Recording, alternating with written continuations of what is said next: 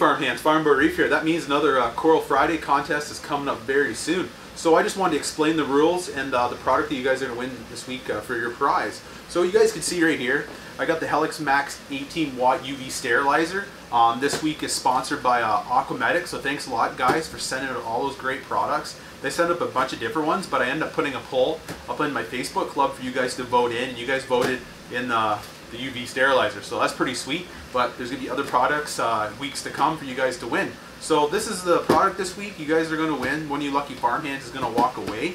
So what you need to do to win this product, you got to watch the Coral Friday uh, contest video. You're going to have to pick the code word in the scavenger item and make sure to put them in the same comment. You got to have both of them there. You can guess as many times as you want. You know, have all kinds of fun. So just make sure you put both your answers in the one comment. All right. And then the next thing we have to do is you guys could please subscribe to the Farm Boy Reef channel. It'd be greatly appreciated so we can keep all the great products coming in and all the great companies. So thanks a lot everyone that's going to be playing. Uh, it's going to be awesome. We're going to have fun this week.